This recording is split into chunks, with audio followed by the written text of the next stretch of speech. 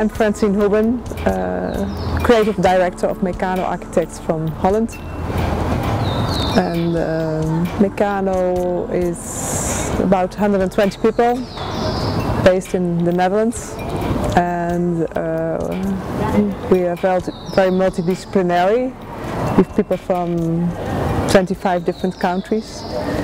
And we have, uh, we combine architecture with landscaping, urbanism, interior, even mobility and restoration. So we have, I call it my symphony orchestra.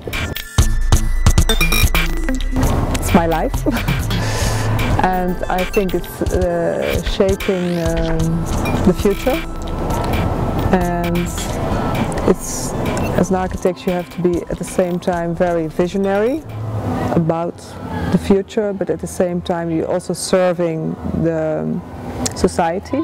So it's it's both, and it's for me um, also shaping the world.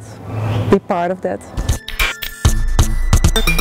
For me, it's very important that you have very good eyes, that you very can observe very well what is needed and then come with an integrated way come up with new visionary ideas but at the end is that the architecture is at the end for the local people who live there or, or, or the users. I always say for me it's the following up of first the people, then second is the place and third is the purpose. Um, because there's also a philosophy that you should base very much architecture on the purpose but I don't agree with that because one thing for sure is in the future the purpose will change. So it's more about uh, shaping, um, creating space for uh, even changes that you, you cannot predict. That's also architecture and urbanism is about that. I think uh, how it is possible to be stay on innovative first of all is that we do different kind of um, commissions. I, sometimes I say I'm specialized in things I've never done before. And, and also to have this open attitude that you want to learn, you keep on learning new things and often it's not, you don't learn, often not from other architects, but I also like to uh, learn from other disciplines.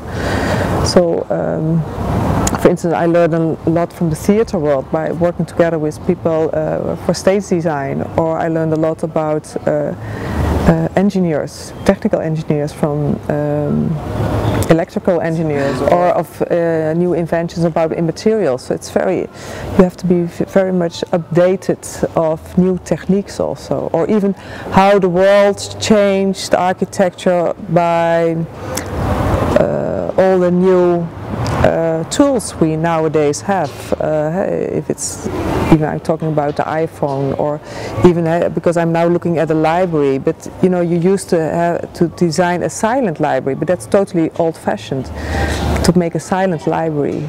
But nowadays, people and if people want to have this own atmosphere, he can put on his own uh, vault on with a head headset uh, and then you can have your own music and be uh, very quiet or you can have totally uh, silent in a world what makes noises. So it's, it's things are changing um, and to be very much aware of that.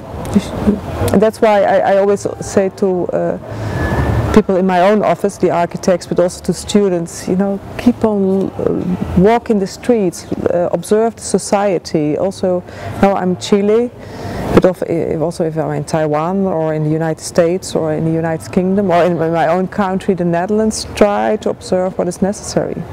It's important as we as architects and urbanists that we also um, communicate very well with all the politicians because if you don't give them visionary ideas, the, the politicians, because at the end they are responsible for it, so we should also communicate very well with the politicians. I think it's very important, not only for yourself, but also to exchange ideas with um, people you know, or uh, or, uh, and also you can learn from it, but you can also give your vision back. It's also important that architects also listen, not only talk. Uh, so it's kind of a two-way communication. Um, and I think what is very important that architects are not just, it's not just an aesthetic issue. Of course, you should make beautiful buildings and urbanism and landscaping, um, but it also should make sense. And especially uh, uh, commissions on a bigger scale, uh, they're often also quite political and uh, and then you have to also explain it to them and to come up with these ideas to these politicians.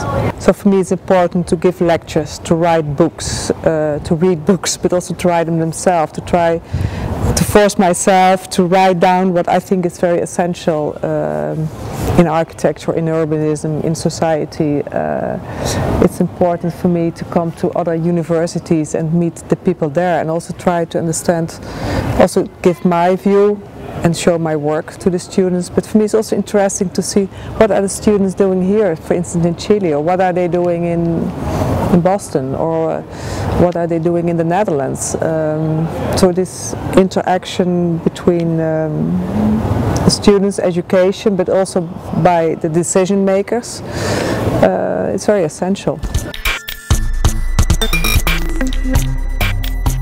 Of course we have websites and all these kind of things. Uh, uh, of course the internet changed the whole world.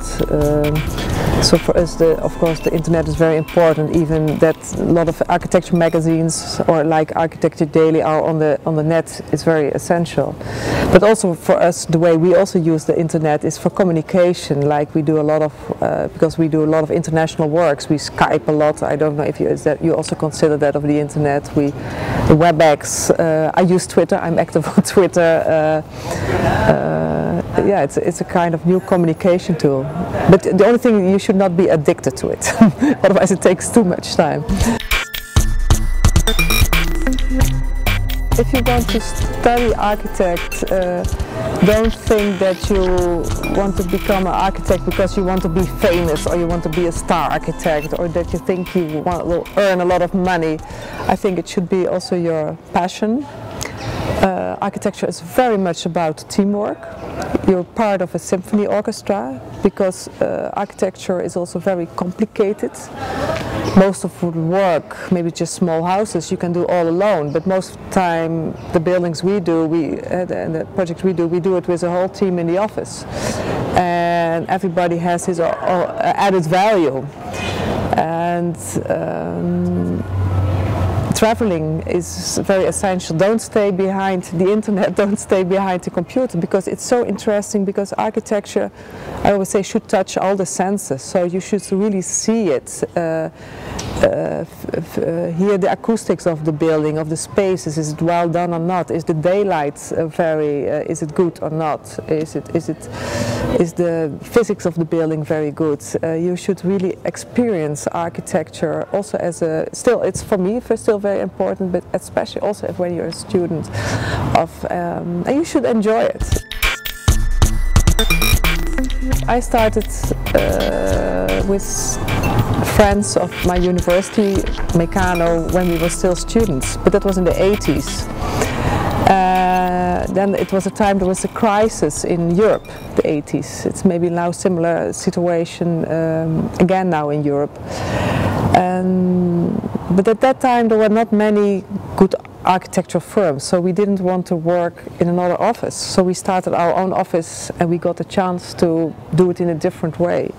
But if I compare it uh, with 30 years ago, uh, what is now asked from an architect is much more than when I started 30 years ago. You, would, yeah, you need all the hardware, the software, uh, the, you, you need uh, 3D things. If you're more interested in architecture uh, than in, uh, then don't start your own firm because if you start your own firm, you all have to all these do these bureaucratic things.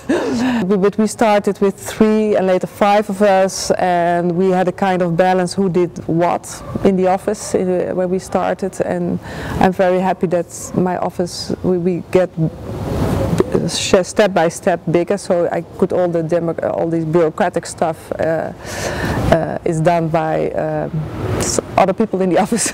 So I can totally focus on the on the visionary part and the creative part. so but I'm very happy because we are yeah 100 120 people. It's the size of a symphony orchestra